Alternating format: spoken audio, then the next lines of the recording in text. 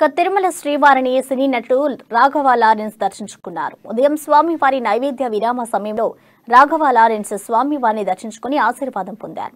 అనంతరం ఆలయ రంగనాయకుల మండపంలో వేద పండితులు వేద ఆశీర్వాదం అందించగా ఆలయ అధికారులు పట్టు వస్త్రంతో సత్కరించి స్వామివారి తీర్థ ప్రసాదాలు అందజేశారు.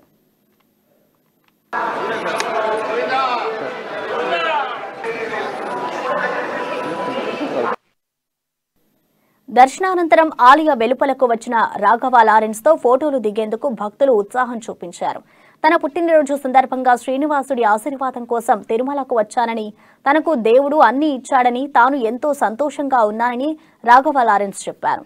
అదేవిధంగా భక్తులు కోరిన కోరికలు అన్ని నెరవేర్చాలని స్వామివారిని ప్రార్థించినట్లు వివరించారు. శిలగా మారిపోయింది అని మనం అక్కడ చదువుతున్నాం గిరి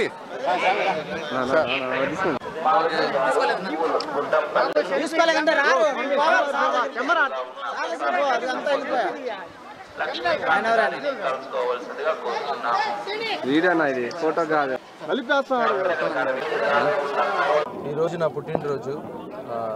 స్వామి దర్శనానికి వచ్చాను. నాకు దేవుడు అన్నీ ఇచ్చారు. నేను చాలా సంతోషంగా ఉన్నాను. అలాగే చూస్తున్న వాళ్ళందరికీ ఏవి అనుకుంటున్నారో అన్ని వాళ్ళని నేను అమ్ముతున్న రాఘవేంద్ర స్వామి ఏడు గంటల వారిని మొక్కుకుంటున్నాను. థ్యాంక్ యూ రిలీజ్ అవుతుంది. April fourth